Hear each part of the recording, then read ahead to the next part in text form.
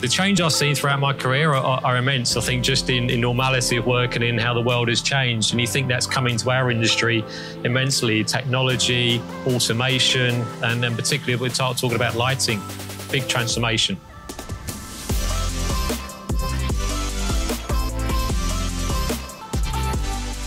The scale at Clay Lake is immense, and you, anyone who gets blown away by looking into the facility and you look at the amount of lighting we've got over the pot herbs, it is impressive. Particularly if you get a dull day and actually see all the lights coming on, it's, it's, it's good to see. It's good to see.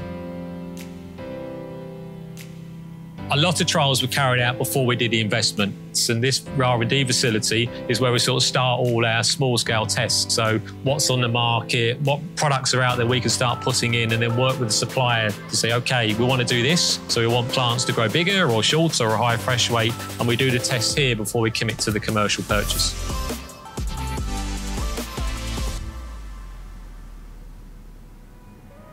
Why do we choose Heliospectra? Probably comes down to I think the service and the backup that they provide. And the second would have been cost competitiveness against other quotes that come in.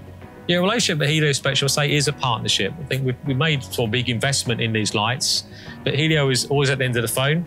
We have these weekly calls that's very important to us. The important thing is, is that contact and making sure it's not just selling the lamps, but even post that purchase, we're still doing some work with them, still talking. How can we get most out of the investment that we've made? And the nice thing to see is that's happening on a direct level with the growers on the floor there. And that's really important to us as a business that you've got that working relationship.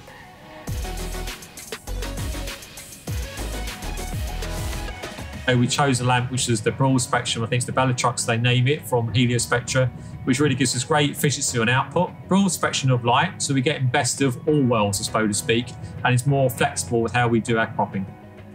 What important for us to look at is that energy savings, we make that real. So if we can get more density per square meter, we can use that energy much more effectively. That will significantly reduce our cost of production. 30, 40% saving against what we've done before in electricity is what we expect.